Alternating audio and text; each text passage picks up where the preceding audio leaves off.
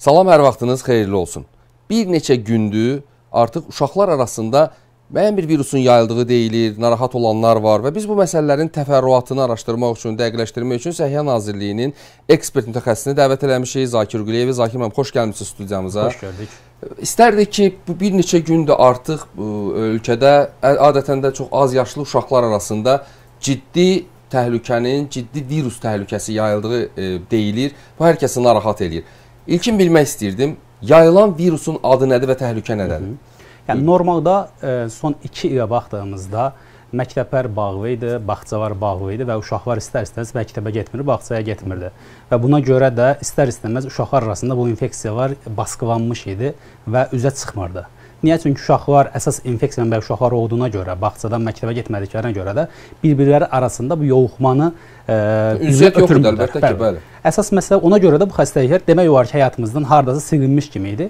Amma son vaxtlarda artıq ə, məktəblərin aktivləşməsi, bağçaların aktivləşməsi nəticəsində uşaqlar arasında ə, virus mənşəli xəstəliklər artmağa başladı. Bu tamamilə normal bir gözlənilən bir şey idi ki, son vaxtlarda bəli, uşaqlar arasında artan bir e, virus da rotavirusdur ki, bu. Ə, xüsusən də uşaqlar arasında bu daha çox rast gəlinir virusa. Rotavirus nədir? Yəni rotavirus virusların bir qrupudur ki, daha çox ə, ağız oral yolla uşaqlara yoluxan bir ə, xəstəlikdir bu.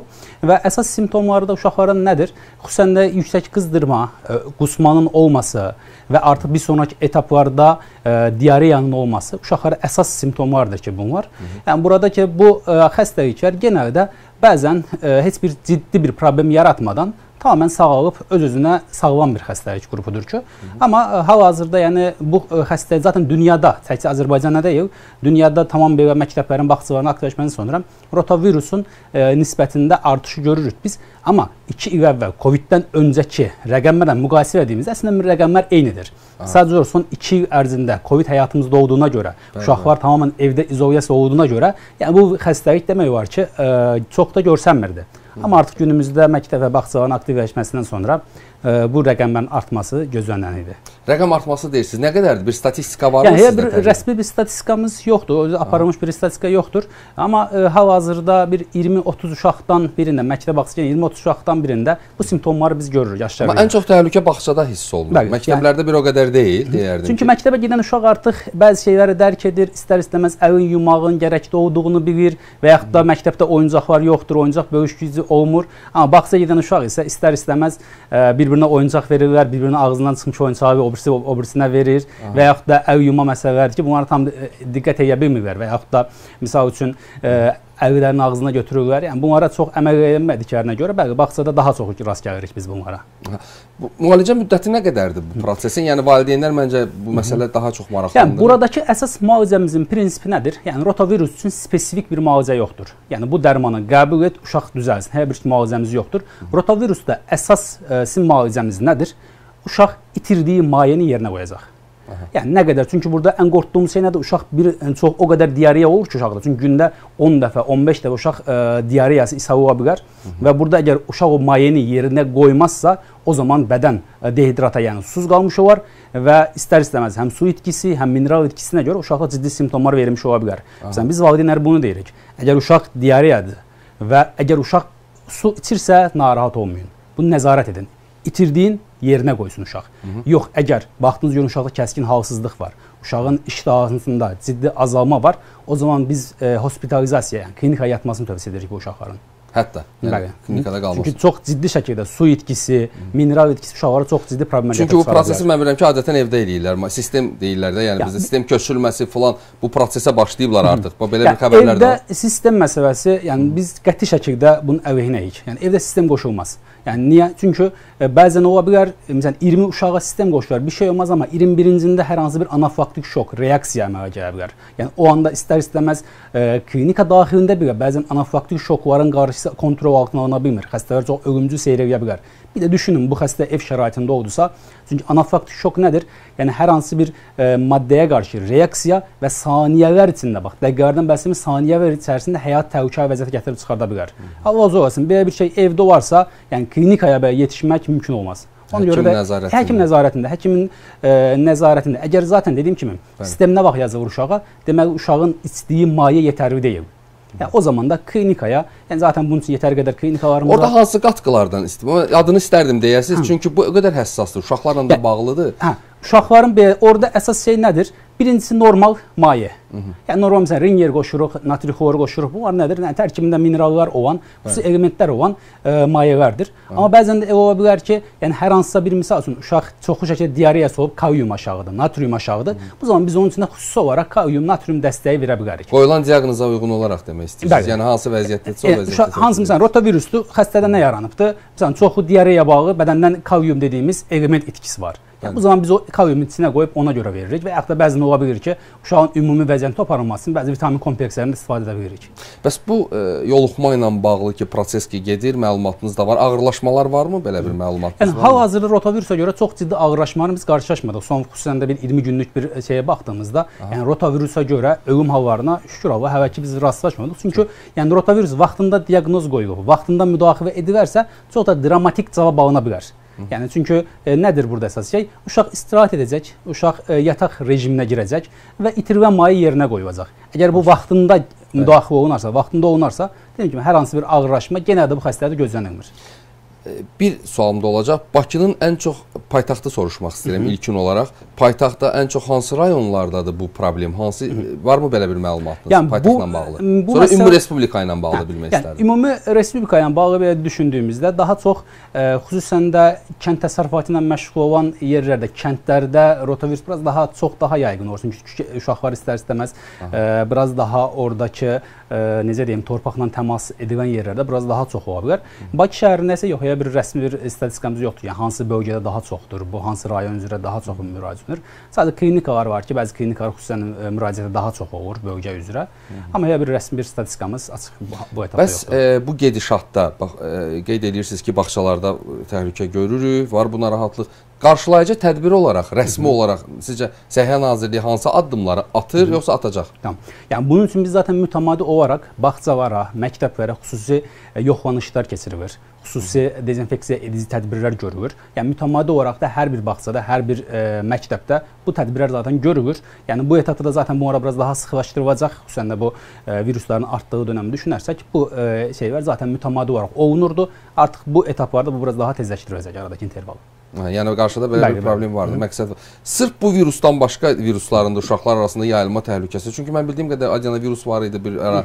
Bu da sürətlənmişdi. Hansı təhlükələri gözləyirsiniz? İndən sonra da indi müəyyən yumşalmalar da var artıq və bu da normaldır, belə də olmalıdır. Cəmiyyət artıq o həyatına geri dönür. Uşaqlar da bağçaya getməlidir, məktəb də olmalıdır. Amma bu qarşılayıcı tədsiz dediyiniz kimi də, yəni pandemiya dövründə bir uzun müddətli bir dayanma oldu. Amma indi artıq Sakin, start verilib, bəli. Neynəmək istəyirsiniz? Hansı addımı atmaq istəyirsiniz? Bu, bu nəzərə alınıb bu təhlükəni? Yəni bunu bu təhlükələr hamısı zaten nəzarətdə olan bir e, durumdur. Yəni biz bir şey qərar verirkən hər zaman e, fayda və zərər birlikdə nisbətini götürüb ona görə qərar veririk. Yəni bu etapda da əlbəttə ki, uşaqlar arasında virus xəstəliklərinin sayının artması tamamilə normal bir şeydir. Arta bilər bu xəstəliklər. Bizim buradakı əsas e, məqsədimiz nədir? Xüsusən də valideynlər uşaqlarına xüsusi belə deyim, öyrədici, maarifləndirici e, bilgiləri verməsidir. Mütləq şəkildə. Valideyn ev hər şey, hər bir e, şeydə mədəniyyət mütləq şəkildə e- evdən başlayır. Məsələn, Misal üçün uşaqlar əllərini necə yuması gərəkdiyini uşaqlara öyrədiləcək.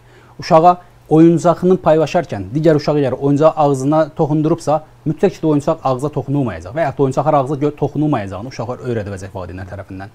Və yaxud da məktəbdə uşaqlara bir hər hansı bir torpağa toxunduğunuzda və yaxud da bir e, yazı yazdığından sonra əllərini yuması gərəkdiyini mütləq şəkildə valideynlər uşaqlarına bunu anlatacaqlar. Və avtobusda gedərkən, gələrkən yenə də tamam biz demiş dedik e, maskalar yığışdırılır. Amma bu e, maskalar yığışdırılarkən bu məcburi yığışdırılmadır. Məsəl üçün şey deyil bu. E, yəni bu- tövsiyə olunacaq. tövsiyə olunur. Bəli. Yəni bu e, bunu taxmayın deyirik, amma bu mütləq şey taxmayacaq deyə bir şey yoxdur.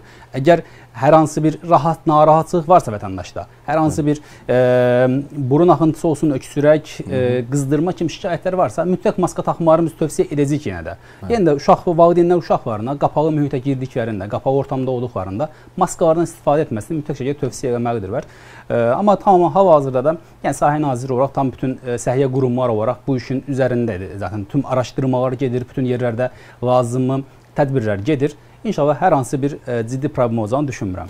son olacaq bu istiqamətdə bir bu, bu sahə ilə bağlı bir sualım olacaq. Daha doğrusu bu virusla bağlı qeyd etdiyiniz məsələ var. Uşaqlara deyilsin, bir-birinə ötürməsin. Amma elə uşaqlar var ki, bağçada onlar onu dərk eləmir. Hı -hı. Burada məsuliyyət tərbiyəçilərin üzərinə düşür. Bəli, Burada məsuliyyət orada idarə edən nəzarətçilər.